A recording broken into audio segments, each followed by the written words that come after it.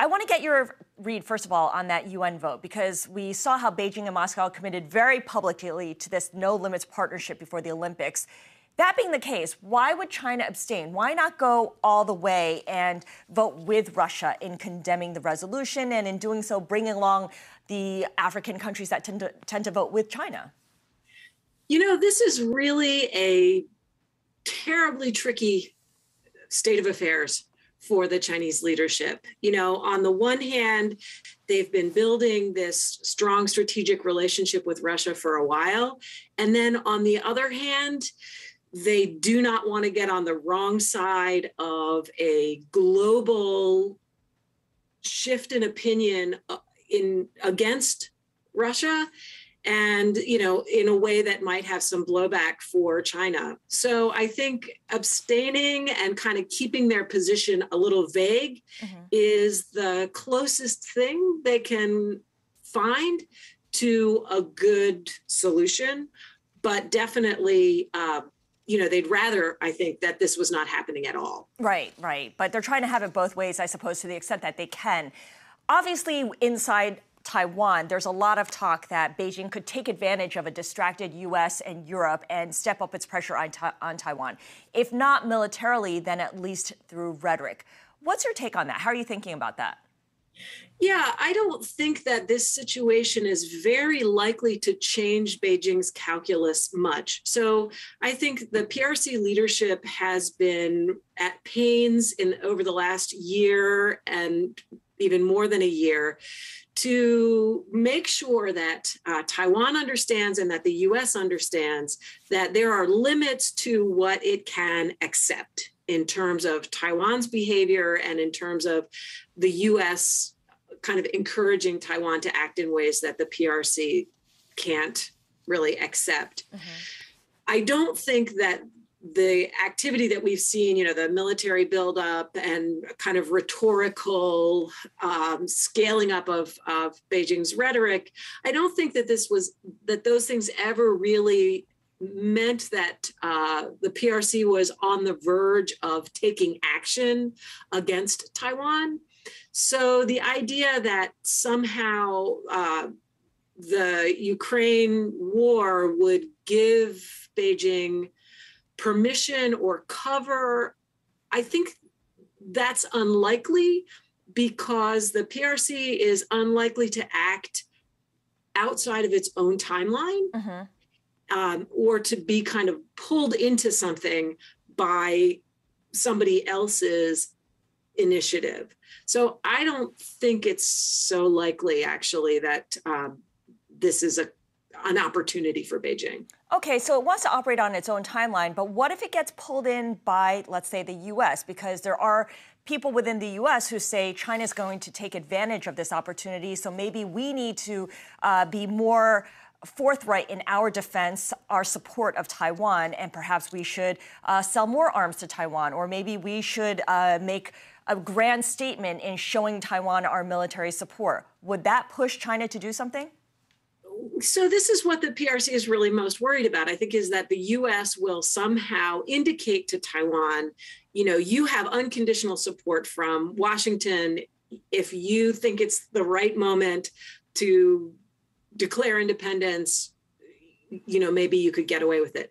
One, Taipei is not interested in declaring independence right now, right? So, so they're that's not uh, in the cards on mm. the Taiwan side. Mm-hmm. But I think for Beijing, they don't want to count on that, right? They have a lot of uh, misgivings about Taiwan's leadership and about Taiwan's population. So for me to say, don't worry about it, uh, Taiwan's president Tsai Ing-wen is not going to declare independence. You can relax. That that has never had any effect at all on people that I've talked to in in mainland China. So what they want is they want the U.S. to restrain its own behavior and its own rhetoric to ensure that Taiwan doesn't get the wrong idea or doesn't get maybe the right idea in the view of some Americans who think that maybe, uh, you know, this is the right moment. one thing that happened within the last 24 hours that I found really kind of encouraging was uh, the Biden administration has sent this delegation of Americans to Taiwan to provide reassurance, mm-hmm. led by the former uh, chairman of the Joint Chiefs of Staff, Mike Mullen. And Admiral Mullen's statement in Taiwan included a sentence that said, uh, the US policy continues to be that we do not support unilateral change to the status quo. Or, sorry, sorry, not that we do not support. The US opposes unilateral change mm. to the mm. status quo. What that means is, and what that has meant for a long time, for decades actually, is the US is opposed to uh, mainland China trying to use military force to coerce Taiwan, but the US is also opposed to Taiwan unilaterally acting to formally separate itself mm-hmm. or actually declare independence. So I think that was actually a very strong restatement mm-hmm. of mm. a longstanding US position, which is nope, you know, we just and and he also reiterated this, we just need for you both sides to maintain peace and stability in the Taiwan Strait. We are not trying to get a particular outcome here. And we don't, we actually oppose either side right. trying to change the picture unilaterally. So, what the US is saying basically is all things considered, we are in firm support of the status quo and nothing changing. Just everyone stay where you are and don't change anything. Yeah. And, you know, that's been the US position for a really long time and it has enabled peace and stability in the Taiwan Strait for a really long time. So, you know, I, I get the, I know that there's a, a, faction in the United States that, you know, is tired of peace and stability. Um, I am not on on that team. You know, I'd rather have peace and stability than, um, the alternative. you know, what was being in Ukraine. Yeah, uh, I think most people would agree that they would prefer peace and stability. Nevertheless, this has got to be playing havoc on people in Taiwan and their fears on what could happen. If China were to militarily invade Taiwan, what is our understanding about just how far the U.S. would go to defend Taiwan? Well, you know, the U.S. has always kept the a certain amount of ambiguity about that because precisely because an unconditional guarantee of military intervention by the US could be just what some people in Taiwan need to say, okay, let's go for it. You know, mm-hmm. let's go ahead and declare independence because the US has given us an unconditional security guarantee. So the US has been really reluctant to do that because we the you know U.S. officials haven't wanted to encourage Taiwanese to act in a way that could put both Taiwanese and uh, Americans mm-hmm. in danger. This all sounds very logical and reasonable and rational. What could upset this? What could cause someone to act irrationally, to, I don't know, to act like Vladimir Putin and do something that would defy a lot of people's expectations? Yeah, you know, I think one thing that a lot of Americans uh, who follow these relationships really closely worry about is some kind of domestic disruption in the People's Republic of China that might cause the leadership to worry that their grasp on power is in peril mm-hmm. and that they need to show some kind of major, you know, nationalist achievement in order to avoid being overthrown or replaced or edged aside or whatever you know perhaps that's part of what's motivating putin here is the sense of you know that he, his government is performing badly in terms of economic and other uh, domestic goals. And so he's going to show the russian people just how powerful and strong he can be mm. and i think what we see in in this moment is precisely the message that i think many in beijing will recognize as a cautionary tale mm. which is that you think that you know showing strength externally is going to work to your benefit but it can also backfire and whether or not uh, the Russian army is successful in occupying Kiev or decapitating, whether figuratively or literally, we still don't really know, the Ukrainian government. You know, these are things that people imagine happening in Taiwan. Decapitation is a word I hear all the time with respect to how the PRC might handle Taiwan. But whether or not these invasions succeed, what we can see now is that they do not go over well with the international community. Mm-hmm. They do not shock and awe neighboring countries into submission and acquiescence.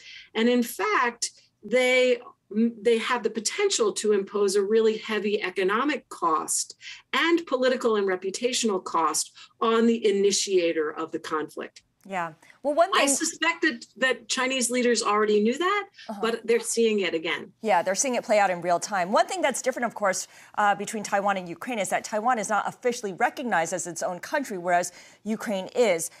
I, want to go back to something you had talked about earlier about China because it's got its own timeline here. One thing that we know about China that's so different from the US and Europe is that it can afford to play the long game, the really long game. It's got its own timeline, it's got its own logic that may not be driven, or that's definitely not driven by electoral politics.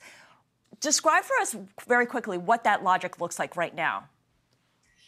You know, I think the um, some of the things that Putin has been saying are eerily reminiscent of things that the PRC government says about Taiwan. So, uh, Ukraine has been part of Russia from time immemorial. Even to you know, the Ukrainians don't have a, real language; they just have a dialect of Russian.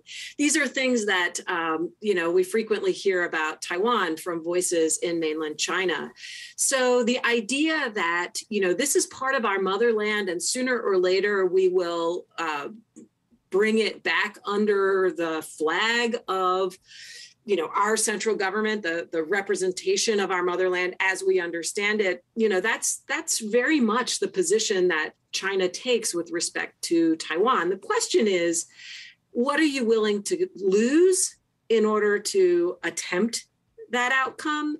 And is there a way to have that outcome that doesn't involve incurring such a heavy mm. price? Mm-hmm. And I think for Beijing, the possibility of gaining the outcome that they need in the future is still strong enough that as long as they don't lose what they urgently require in the short run, which is that Taiwan not become independent and therefore foreclose the possibility of re- unification in the future. You know, as long as that doesn't happen, I believe that uh, the PRC government can wait a bit longer. So it sounds like for Taiwan to survive and to not be in political or military peril, it just has to give China the impression that it's happy not pursuing independence and it'll just kind of stay with with the current situation i mean the you know uh, people in beijing would not like to hear it put that way because they want us to feel that urgency you know they uh-huh. want us to believe that they are in fact in pursuit of unification but what can i say you know they have tolerated this situation for the last 70 years yeah. and in by tolerating this situation right by not pushing this envelope, the PRC has achieved incredible success in terms of its uh, economic development, the human development for its people. You know, staying out of wars for 70 years, you save a lot of money that you can spend on way more important things.